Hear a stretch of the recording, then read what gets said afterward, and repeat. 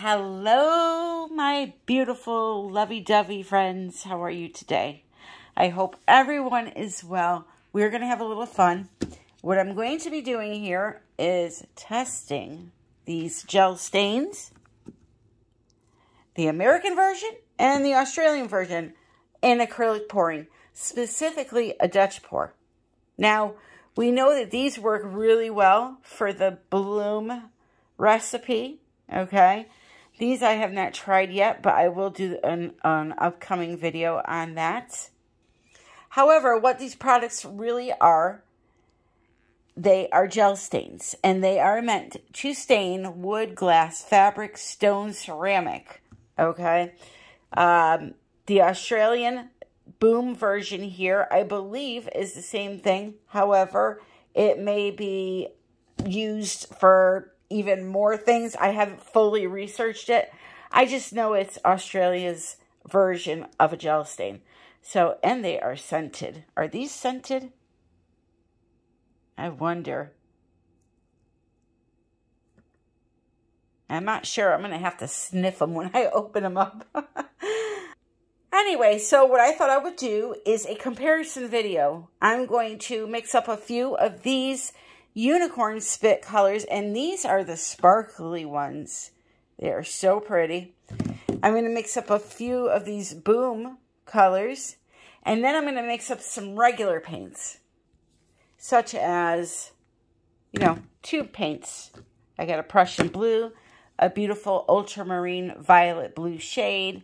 I'm also going to use a couple of deco arts this time. Primary blue, sky blue topaz, um, Royal Navy, and then this beautiful Modern Masters called Glacier Blue. All right, so I'm going to show you how I'm mixing these. Let me set up and we will get started.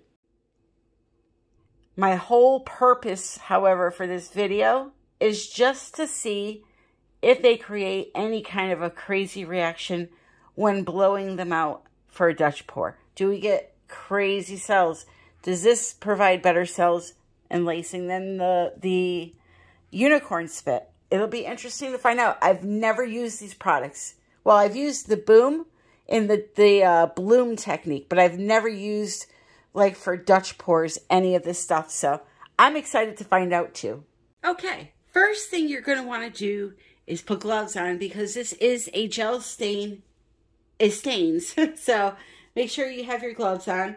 So what I'm going to do here, very simple. I'm going to show you how I mix a boom gel, how I mix a unicorn spit, and how I mix a tube paint, okay? I'm not going to show you how I mix all of them because it's all going to be the same, but I just thought I would show you the difference between the three different types of products. So, the first thing I want to do with the unicorn spit is give it a good shake. And then I'm going to just put some in the cup and thin it down with my Floetrol, which is in this cup. This is American Floetrol that I have strained, okay? You always want to make sure you strain your Floetrol. The Australian Floetrol, you don't have to because it's very thin and it doesn't really um, produce like clumps or anything like that, but the American does. So you want to make sure you strain it so that doesn't end up in your artwork.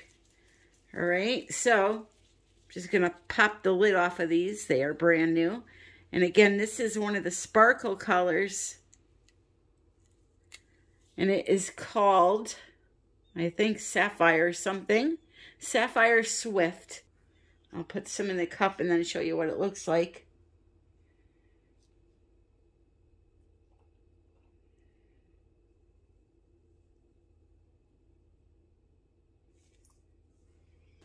These have a little bit of an essential oil smell to them.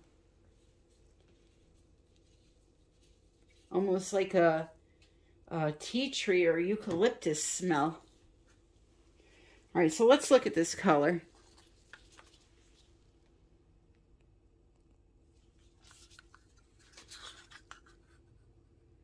You see, it's nice and sparkly. Very pretty. So what I'm going to do is now add some Floetrol. And you saw how much I put in there. Just kind of covered the bottom. No exact measurement or anything like that. I'm going to fill this cup up halfway with the Floetrol. And then give it a swirl. Now we want the consistency to be on the thinner side because we are going to be doing Dutch pours. Now, another thing to note is these will look a lot lighter when they're wet. Once the Floetrol dries and your painting is dry, they will come back to color, okay? They'll come back to their original color. So that's a very nice consistency for a Dutch pour. Flows nice and fast off the stick, leaves a tiny little mound on the bottom there or on the surface, I should say. And that's what we're looking for. So that's how I'm going to mix all the unicorn spit colors. As for the boom gel, going to give it a good shake. And I'm going to do the same exact thing. The consistencies are extremely similar. Add some Floetrol until the cup is half full. Give it a stir.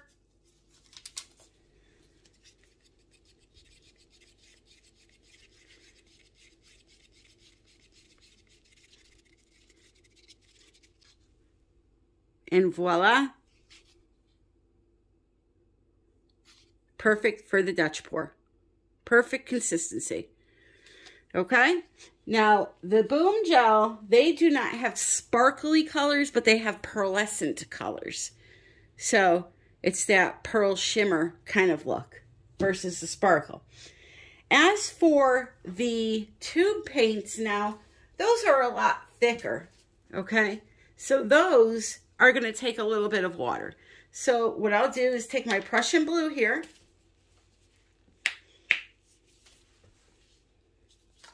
I'm going to put some into the cup. The good thing about Dutch pours is you don't need a lot of each color. So a very large grape size amount. And then what I'm going to do is I'm going to put a little bit of my Floetrol in here. Why only a little bit? Because depending on the paint brand that you're using and um, the color even, sometimes they will clump on you. Silver is a known clumper. So what I do is I add a little bit of the Floetrol in there at first, just to thin it down a little bit. Then I will go ahead and fill it up. This way you don't end up with a whole bunch of clumps that you're trying to work out. And like I said, it depends on the, the brand and uh, the color, believe it or not. Now, paints like this, Deco Arts, they will never clump on you. So you can just go ahead and throw all of your products in at once. But uh, tube paints are a different beast. All right, so that is much thicker than, and not that you can see because it's a dark color, that is much thicker than my other colors. So even though it's running off the stick like the other colors were and it's leaving a, a mound on the surface, that mound is more fluffier looking to me and more thicker. So what I will do is I will go ahead and add a little bit of water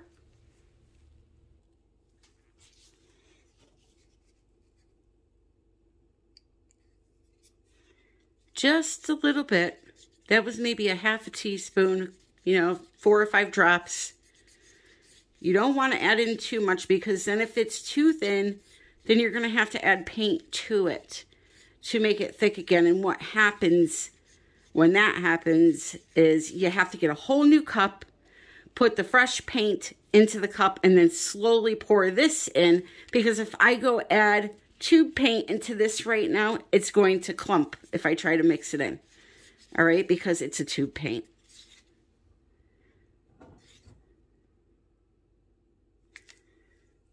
I think there is a squirrel having a party on my back deck right now because it's something's banging out there. All right, so I added in just a tiny, tiny bit more water. That was about five more drops or a half a teaspoon. And now I could just feel with the stick that it's the same as the others. It's flowing off the same. It's not fluffy looking. The, the puddle at the bottom there, the little mound, it's looking the same as the other.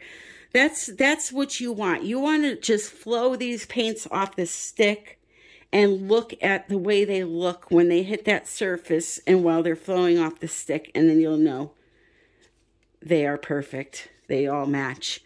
If you have issues with consistency and you need a foolproof way to figure this out, I have a video. I'm going to link it in the description. There's a free downloadable printable chart that you can print out. You can mix up your paints and test to see if they're all the same consistency.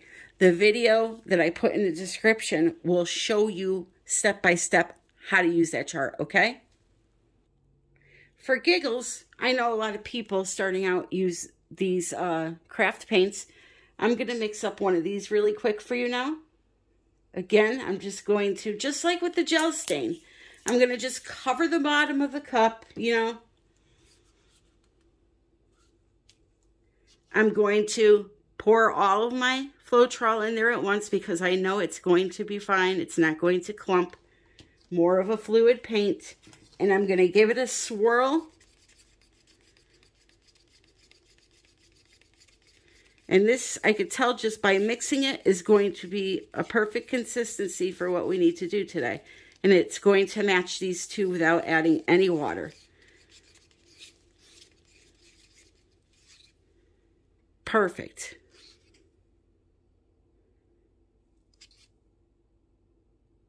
All right, so that's how I'm going to mix all of these paints for the two Dutch pours that I'm going to be doing. So I will be right back with all of the paints mixed up and we will get started. So here's how I'm going to do this. This canvas here, I'm going to use the unicorn spit colors with a few random um, regular tube paint colors, which I'll tell you the names as I go. I'm going to kind of just pour the colors on the outer border here and just blow them in. We are testing these out to see how they work, okay? So what I'm going to do here is take my white. Again, I'm going to show you the consistency of those paints.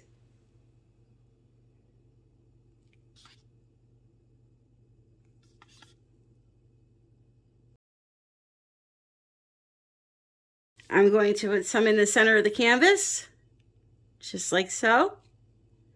And then I'm going to tilt it around and cover the entire canvas. Okay, because I decided to do multiple tests in this video, kind of ran a little long, so I decided to speed up these parts here that are just self-explanatory. So I started off by putting the colors down, no particular order.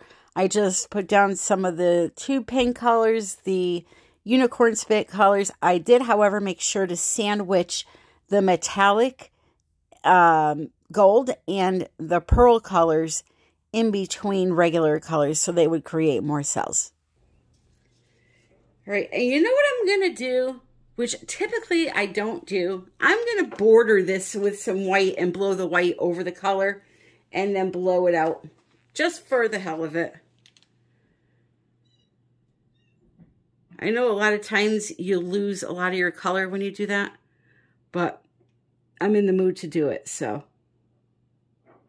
I cannot be told otherwise. All right, so now's the point where I'm going to torch my air bubbles.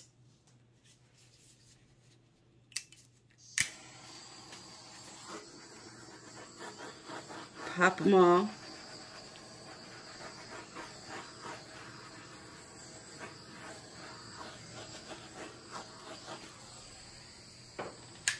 All right, and I'm going to now turn on the blow dryer, my little flow we're going to be using today. I have an identical one that's white in my Amazon shop if you're looking for one of these. And um, yeah, so let's start blowing here. Okay, I forgot I was doing an edge Dutch pour. and I decided to do something really silly here, which I will explain to you in a second. But put it this way, after I blew out this first petal, I said to myself, you dummy. So I'm going to explain in the next clip what I did wrong here and tell you what you should do.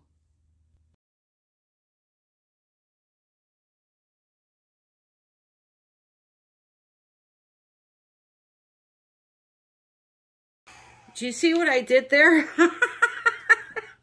I just totally gave up after this first petal because I realized that I just blew all of my color off of the canvas by blowing that white over.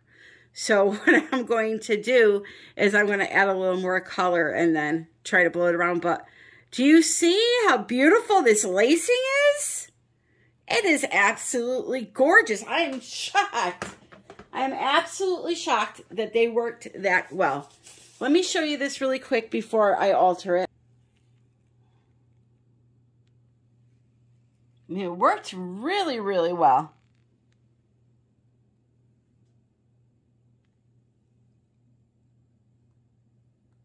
So this here looks like bleeding, but it's really not. It's just that color mixing with the uh, white because I put the white on top.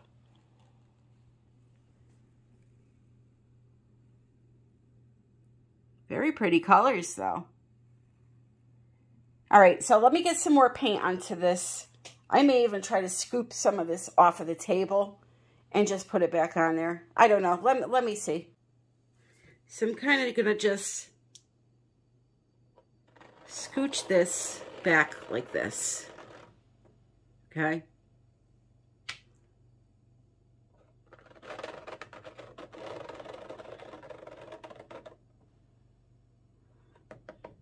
Just like that. Same thing over here.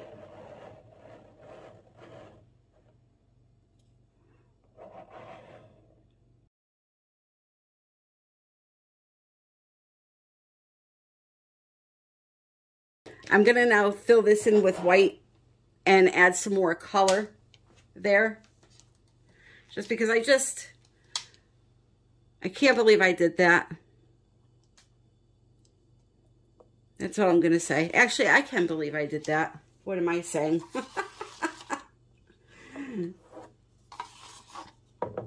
Typical Tammy. All right. So here I'm going to fill this in a little bit and I'm going to turn the blow dryer on and kind of level it out. So it's an even playing field.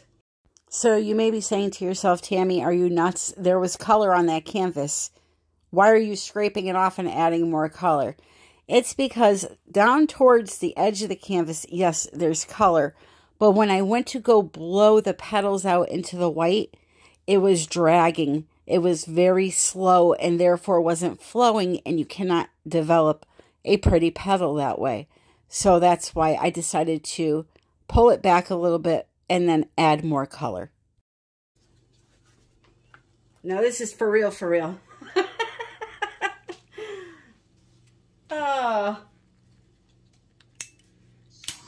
I'm going to show you really quick what I did wrong on that first one, not even thinking, because I never put white around like that and blow it over and blow it out. So I started here and blew it all the way out. I should have just lightly blew it halfway over, the white halfway over this section to about here and then worked it out. But instead I went right off the canvas. But hey, that's me. You guys are used to that over here.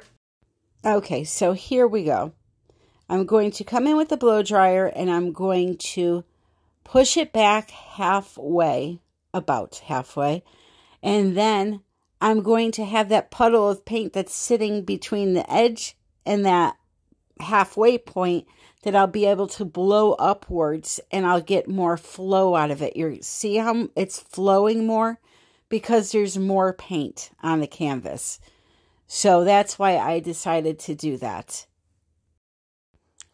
Now, this is a small canvas, and it's very, very hard to design something like a Dutch pour on one of these because there's really not a lot of room for the composition. So I kind of just wormed my way around the edge there and blew out the colors.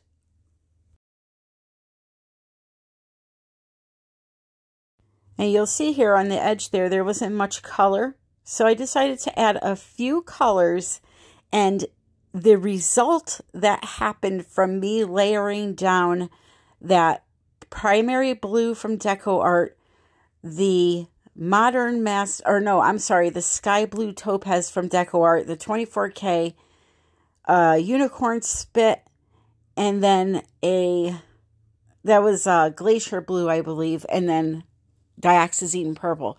Look at the difference in the lacing and cells in this one area here when I blow it out. Because I layered the paints differently, they had a different reaction. All right, so how beautiful is that? Wow, wow, wow. Look at that. That is incredible. Absolutely beautiful.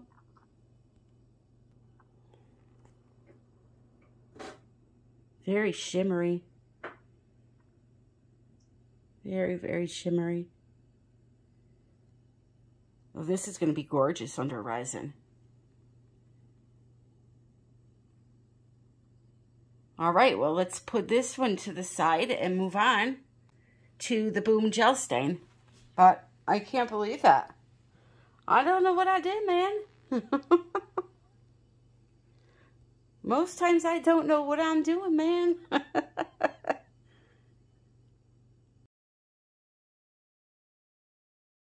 So now I'm going to do the same thing except with the Boom Gel Stain. So let's see how this one goes.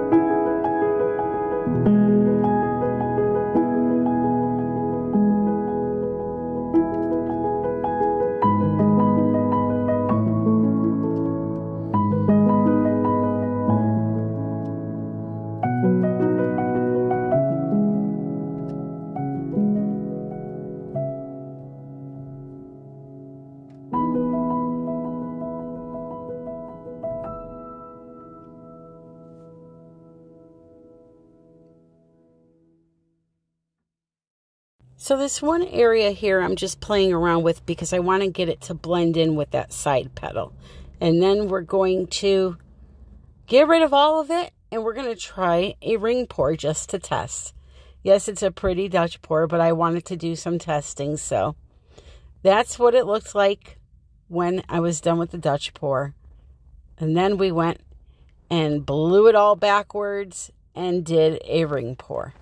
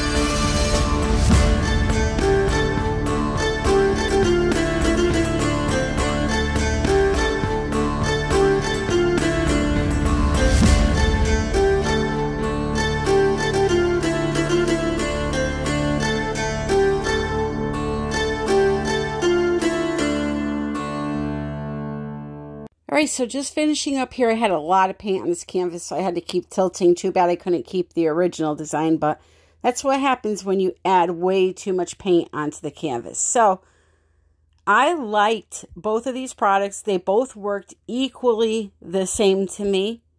And yeah, I have no complaints.